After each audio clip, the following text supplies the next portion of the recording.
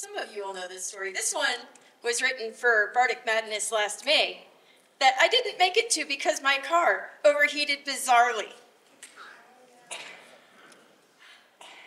So I was not able to be there. Instead, I got my apprenticeship at Pennsic, where I was also not supposed to be, but I don't know how that happened. Something to do.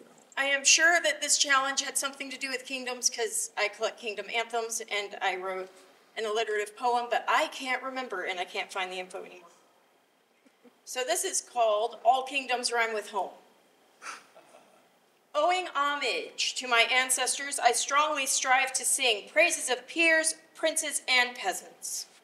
Carefully keeping kingdom songs, their rhymed rhythms running towards the present from the past, safeguarding songs, bringing and honoring home, whether near or far, bridging the boundaries between our vast lands, lamenting loss, vivating victory, heralding our hearts, and knowing deep in my soul, all kingdoms rhyme with home. Nice.